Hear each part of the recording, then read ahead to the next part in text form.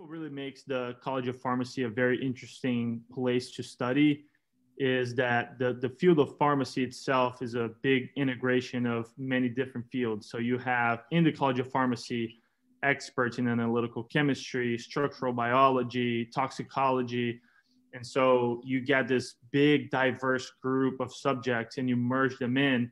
And so you get to learn aspects and, and, and get hands on experience with, with a variety of different topics that you may not have the exposure to in different fields. The collaborative line of work does does not only apply to faculty, but but the students are, are, are as well. Because we have so many different different fields, we have a, a quite a, a large number of labs, and with that, you also have a good number of graduate students.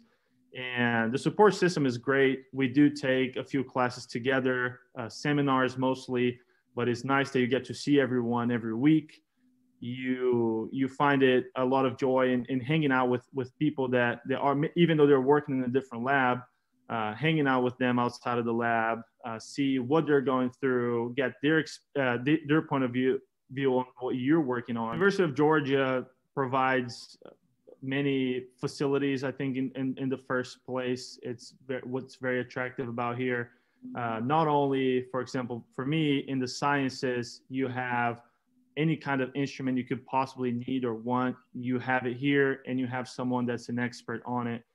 Not only that, you have gyms, intramural fields, tennis courts. I'm a, I'm a big uh, tennis fan.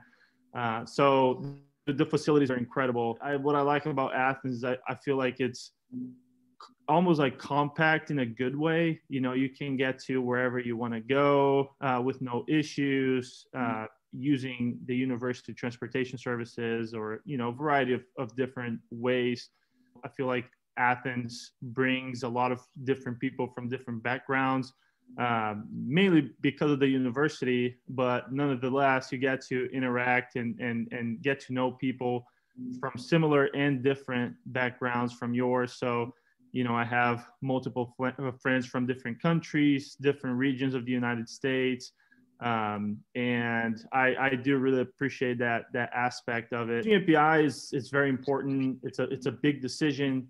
I got to uh, rotate with with my PI, get an experience with him, see what he's all about, and so I I can say enough good things about my PI. He has been uh, so so solid and has helped me in in my develop development as a scientist in in many different ways you should choose the PBS department because of all the opportunities available to work with experts on a variety of complementary fields.